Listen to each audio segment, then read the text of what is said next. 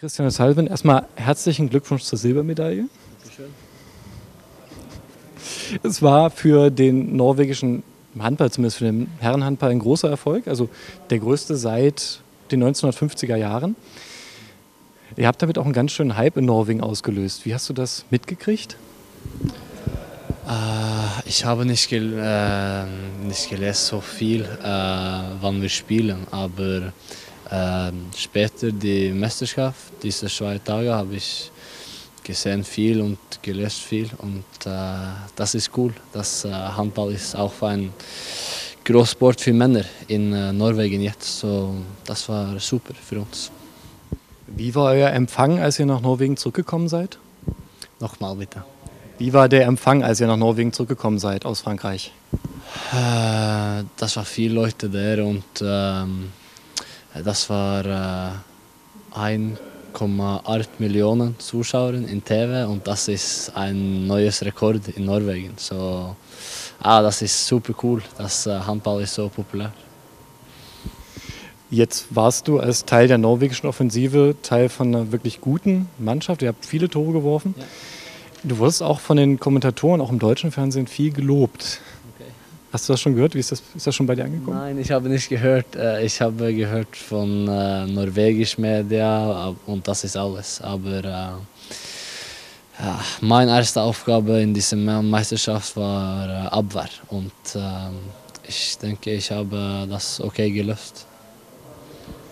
Du hattest, wenn man das mit Magdeburg vergleicht, glaube ich, relativ viele Zeitstrafen und Verwarnungen. Ja, das ist richtig und äh, das ist ein bisschen komisch, weil ich denke, ich bin nicht so äh, ja, viel in Magdeburg und nicht viel für auch in meiner Karriere, aber äh, ähm, ach, ich weiß nicht warum, aber ich denke, das ist ein bisschen cool auch Nummer eins in dieser Statistik. So, ah, das ist cool. Jetzt äh, hat man vor dem Finale gesehen, Du warst natürlich auch ein bisschen nervös, oder? Wie sah das da in dir aus vor dem Finalspiel? Oh, ich denke, dass äh, so Spielfinale ist super, super cool und äh, ich denke, dass, äh, dass du bist ein bisschen nervös, das ist normal und äh, ich denke, das war 18.000 Zuschauer und ein, äh, ein ähm, ach, Atmosphäre, das war äh, ich habe nicht die deutsche Wörter, aber insane äh, und das war super cool. So, äh, nein, ich denke, das war ein, ähm, äh, ein gutes Spiel für uns und äh, ich denke, wir haben viel gelernt und das ist wichtig für eine junge Mannschaft. Gibt es trotzdem so ein bisschen Enttäuschung, dass es vielleicht doch nicht ganz gereicht hat zum Gewinnen? Ja, das ist richtig. Äh, wir spielen Final und so gewinnen. Und äh, Frankreich ist eine super Mannschaft und ähm, sie war so stark für uns. Äh, aber ich denke, für 25 Minuten haben wir super Handball gespielt. Äh, aber das ist nicht genug gegen Frankreich. Äh, ähm, du brauchst 60 äh, Minuten gut gegen eine Weltmannschaft und äh, wir hatten das nicht gespielt.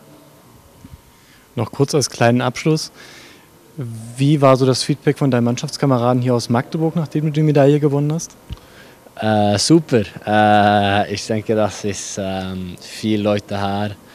Äh, Kroatien, Slowenien, Deutschland und Dänemark. Das hat eine sehr gute Chance für Medaille. Und Peso kommt zurück mit die Bronze und äh, schade für Musa äh, mit diesem vierten Platz, äh, aber ich bin auch super zufrieden und ach, die Mannschaft ist, ähm, was heißt das auf Deutsch, happy für mich und ja, ich denke, das ist cool.